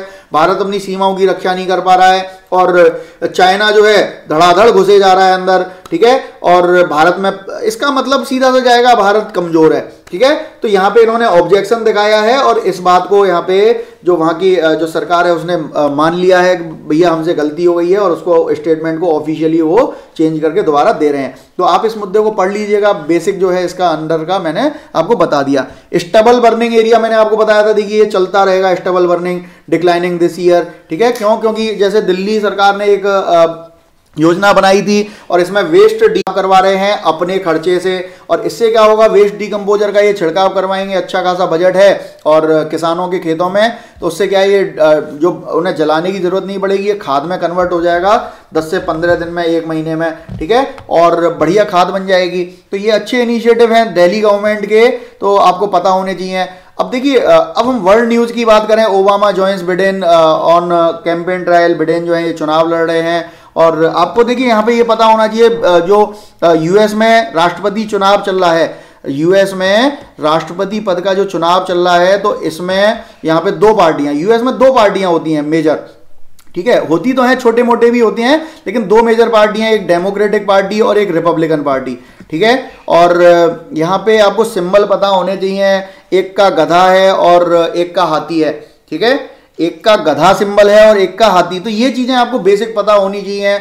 और वर्तमान में जो यहाँ पे जो क्या है, राष्ट्रपति हैं ट्रंप, वो रिपब्लिकन पार्टी के मेंबर हैं और वो दोबारा से चुनाव लड़ रहे हैं और डेमोक्रेटिक पार्टी की तरफ़ से यहाँ पे जॉय बिडेन जो है वो यहाँ पे चुनाव लड़ रहे हैं, ठीक है? तो अब देखिए, जब वो चुनाव लड़ रहे हैं तो उनकी पार्टी के जो पुराने लीडर्स हैं वो यहाँ पे सपोर्ट में आएँगे।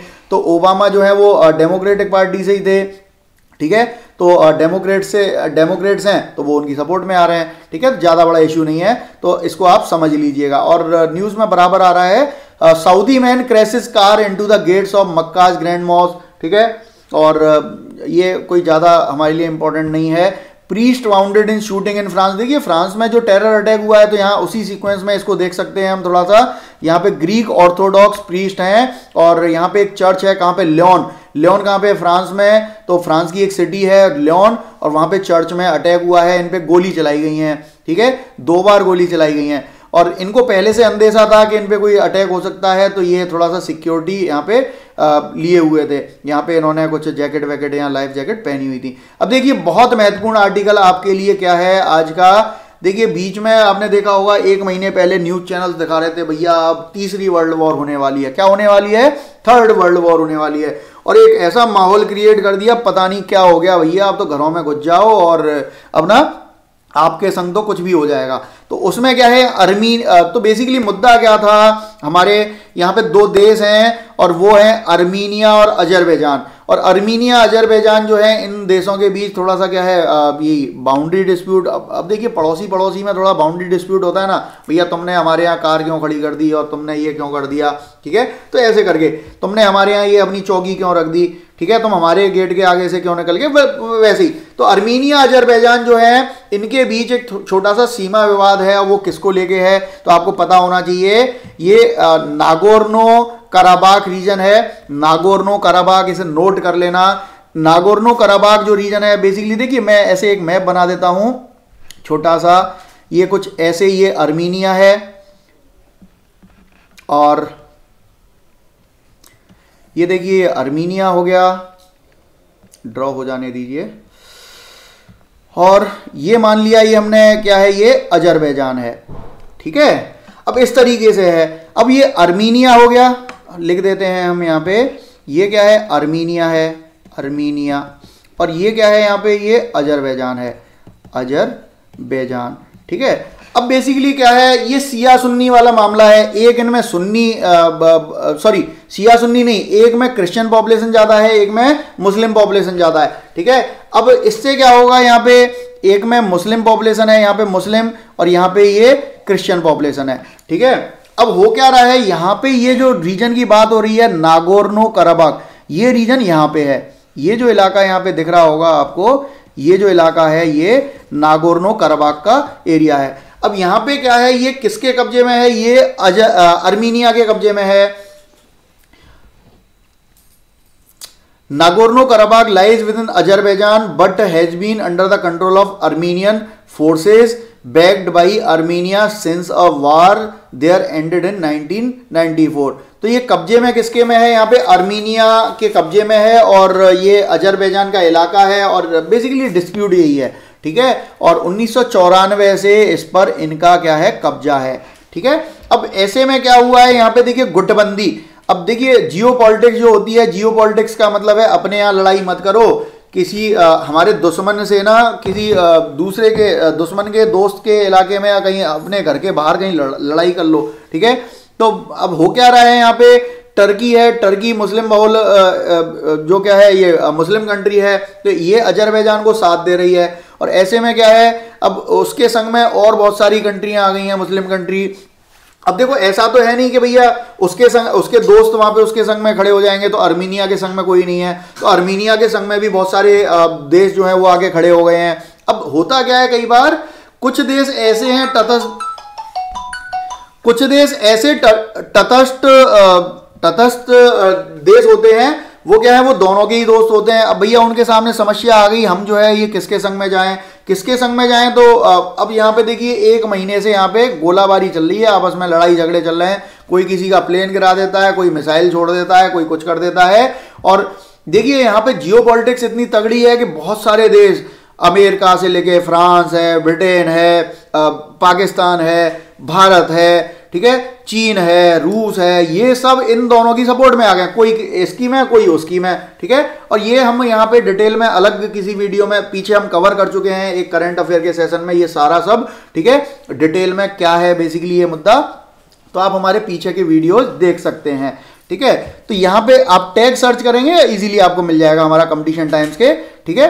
तो वहाँ पे, या फिर हम एक और सेपरेट वीडियो बना देंगे। अब क्या है, एक महीने से झगड़ा चल रहा है। तो यहाँ अर्मीनिया के जो यहाँ पे क्या है, प्रधानमंत्री हैं, ठीक है? प्राइम मिनिस्टर कौन है? निकोल पशीनियन तो ये जो यहाँ फ़ोटो दिख रहा है, ये अर्मीनिया के कौन है? ये प्रधानमंत्री हैं। तो इन्होंने अभी रशिया रशिया से क्या की है यहाँ पे? ये अर्मीनिया के क्या हैं? यहाँ पे प्रधानमंत्री हैं। तो इन्होंने अभी रशिया से भैया गुजारिश की है कि भैया आप बड़े भैया हो, आप थोड़ा सा क्या है, इसको हमारी हेल्प कीजिए और इस मुद्दे को समाप्त करने की कोशिश कीजिए और ये थोड़ा सा सही नहीं जा रहा है दोनों तरफ़ जो है नुकसान हो रहा है, ठीक है? और यहाँ पे एक और चीज़ आपको बता दूँ, अभी क्या है foreign ministers of the Armenia and अजरबा Azerbaijan met Friday अभी ये शुक्रवार को जेनेवा में क्या है, एक मीटिंग हुई है, बहुत ही महत्वपूर्ण मीटिंग है for a day of talks brokered by Russia United States and France मैंने आपको बताया था बड़ी बड़ी कंट्री इन्वॉल्व हो गई हैं ठीक है?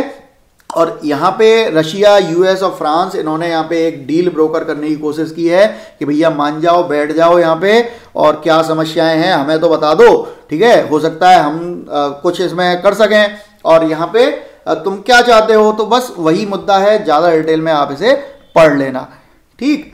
और फिर हम आगे बढ़ेंगे यहाँ पे। तो Tanzanian opposition alleges fraud in polls तो यहाँ पे तंजीन तंजानिया में यहाँ चुनाव हुए हैं तो आप देख लेना यहाँ पे कौन जीता कौन हारा ठीक है? फिर यहाँ पे बिज़नेस पेज बिज़नेस पेज में ज़्यादा कुछ खास नहीं है हमने बोला था यहाँ पे आ, सेशन के स्टार्टिंग में भैया आदित्यपुरी अब आदित्यपुरी ये बेसिकली आदित्यपुरी पे क्वेश्चन आ सकता है ये longest serving CEO of any Indian bank है ठीक है? अभी इनकी एज जो है आ, कितनी 75 हो गई तो इन्होंने सॉरी 70 हो गई तो इन्होंने क्या है यहाँ से रिटायरमेंट ले लिया। और रिटायरमेंट ले लिया भाई जो आ, हमारे आरबीआई के जो प्रावधान है उसके तहत इन्होंने क्या ले लिया? यहाँ पे रिटायरमेंट ले लिया। अब रिटायरमेंट ले लिया है तो आपको पता होना चाहिए भैया Aditya Puri H D F C के लॉन्गेस्ट ये क्या थे? ये सी एम डी थे चेयरमैन सीईओ सब कुछ थे ठीक है? और इन्होंने एच डी एफ़ सी को कहीं से कहीं पहुँचा दिया। कहने का मतलब प्राइवेट सेक्टर की वो सबसे बड़ी बैंक बन गई है एच डी एफ़ सी इनके लीडरशिप में। ठीक है तो इसलिए बहुत महत्वपूर्ण है। तो इनका एक यहाँ पे इंटरव्यू टाइप का ये दिया है। आप इसे पढ़ सकते हैं सर्च करके। अब हम इनको देख लेते हैं भैया यहाँ पे। अब नए जो सी एम डी वो कौन बने हैं? तो नए सीएमडी बने हैं शशिधर जगदीशन। तो ये जो शख्स यहाँ पे देख रहे हैं, बहुत ही हसमुख इंसान हैं। ये जो है, अगले एमडी बने हैं और सी सीईओ बने हैं। तो हम शॉर्ट में क्या बोलेंगे? सीएमडी ठीक है? सीईओ एंड एमडी वैसे सीएमडी की फुल फॉर्म होती है चेयरमैन एंड एमडी ठीक है? तो आपको पता होना चाहिए कि भैया ये शशिधर जगदीशन और डिटेल में आप देख लीजिएगा गूगल सर्च करके ठीक है? फिर आगे बढ़े India's potential participation in COVAX advance market commitment is under way तो ये कुछ साइंस एंड टेक्नोलॉजी का है तो आपको पता होना चाहिए संडे को uh, यहाँ पे साइंस एंड टेक का एक पेज आता है तो इसमें बहुत महत्वपूर्ण है आपको इसके एक एक छोटी से छोटी और बड़ी से बड़ी न्यूज़ को जो है यहाँ पे कवर कर लेना है। आज हम थोड़ा सा इसको समय अभाव के कारण बहुत समय हो गया है, ठीक है? और इसको यहीं पे सेशन को ज़्यादा आगे लंबा नहीं खींचेंगे, ठीक है? कुछ बच्चे कह रहे हैं कि, सर, आप तो बहुत लंबा कर देते हैं। ठीक है? और हमें और भी कुछ करना होता है, मॉर्निंग का समय होता है ठीक है? तो कोई नहीं, हम इसको साइंस टेक का एक अलग से वीडियो क्रिएट कर देंगे। आप इसे देख लेना। साइंस टेक का इसका, इसमें महत्वपूर्ण चीज़ें जो हैं। क्योंकि देखिए साइंस टेक के जो क्वेश्चंस आते हैं ना, यहाँ से पूछ लिए जाते हैं। और आपके एक साइंस रिपोर्टर करके मैगजीन आती है तो वहाँ से आपके ये क्वेश्चंस पूछ लिए जाते हैं। वो सरकार की मैगजीन है और, ठीक है? तो आपको इनको हल्के में नहीं लेना है। यहाँ से इनोवेटिव क्वेश्चंस यहाँ पे टेक्नोलॉजी से रिलेटेड साइंस से रिलेटेड यहाँ से पूछ लिए जाते हैं। ठीक है? और बहुत ही महत्वपूर्ण यहाँ पे टॉपिक्स को अच्छे से कवर किया जाता है द हिंदू में। फिर हम बात करेंगे देखिए यहाँ संडे एडिशन है तो what is swinging US polls ये इधर उधर की चीज़ें हैं तो ये एक तरीके से ये ओपिनियन टाइप का है पेज और इसको आप देख लीजिएगा, पढ़ लीजिएगा और फिर हमारा मालाबार ट्वेंटी।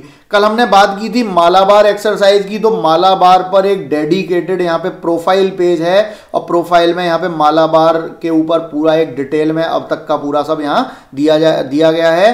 तो इसको आप अलग से सर्च करके पढ़ लेना और फिर जस्टिस इज़ कंजर्वेटिव ये कुछ कुछ आर्टिकल्स हैं, फिर स्पोर्ट्स का है स्पोर्ट्स में ज़्यादा कुछ नहीं है आप अब देखिए कौन सा टूर्नामेंट हो रहा है, हमें डेली उसे नहीं देखना है कि यार कौन से बॉलर ने क्या कुछ कर दिया और छक्का मार दिया, ऐसा हो गया, गिल्ली टूट गई उसका बैट टूट गया, ये हो गया, वो हो गया, वो सब हमें नहीं करना है। हमें क्या पढ़ना है कि यार ये टूर्नामेंट हुआ था, इसमें ये ये टीमें थी, ये कहाँ हुआ था, पिछली बार कौन जीता था, इस बार कौन जीता था, उसको किस संस्था ने उसे ऑर्गेनाइज किया था, ठीक है? तो ये सारी चीज़ें पढ़नी है। अब जब जीते थे तो उसका प्राइज मनी क्या था, उसका स्पॉन्सर कौन था?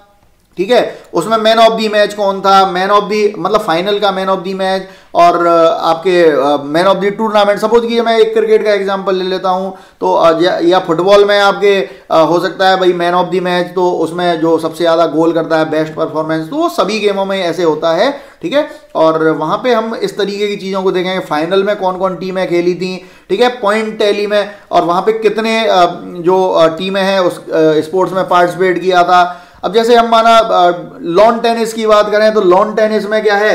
अब लॉन टेनिस में भैया कौन कौन से मेजर टूर्नामेंट्स होते हैं? ठीक है तो ग्रैंड स्लैम होते हैं और ग्रैंड स्लैम जो मेजर चार टाइटल्स होते हैं वो किस देश का पहले होता है, किसका बाद में होता है और हार्ड कोर्ट का कौन सा है सॉफ्ट कोर्ट का कौन सा है? ये कुछ चीज़ें हमें देखनी है। किसी भी गेम के जो अब जैसे माना आईसीसी है तो आईसीसी क्या करती है? वो आ, आ, साल के बेस्ट प्लेयर्स हैं उनकी लिस्ट निकालती है तो भैया टॉप पे कौन है टीम कौन सी टॉप पे? ये चीज़ें आपको देखनी है। ये नहीं देखना है यार कल के मैच में क्या हुआ? ठीक है? वो सब ज़्यादा ध्यान आपका इंटरेस्ट है आप देखते रहिए इसकी कोई मनाही नहीं है ठीक है? और उसी से याद होंगी। फिर आप एक चीज़ और यहाँ पुरुषों की तो देखिए महिलाओं का भी देखिए ठीक है? और बस कोई भी स्पोर्ट्स है उसमें यही चीज़ें देखनी है चाहे चेस का है और चाहे निशानेबाजी का है, बल आपके क्रिकेट का है, फुटबॉल का है ठीक है? ये सारे आप जो हैं, ये सब स्नूकर है, ये सब आप देख सकते हैं। और ये आप देखते रहिए।